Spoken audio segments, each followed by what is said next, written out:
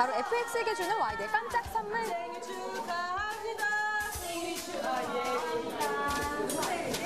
이거 와이드가 준비한 1위 축하 선물이라고요. 감사합니다. 오늘 드디어 1위 하셨네요. 네. 컴백 얼마 만이에요? 아, 일주일. 일주일. 일주일. 그, 제, 제가 그, 그 앞에 있는 스캔을 못 보고 있었어요. 아, 여기 아, 보기 싫어, 보기 싫다. 근데 거의 사진 딱 나오는 거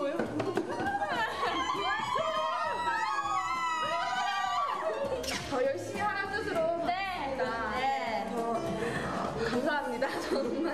정말 열심히 하겠습니다, 여러분. 아, 진짜 사랑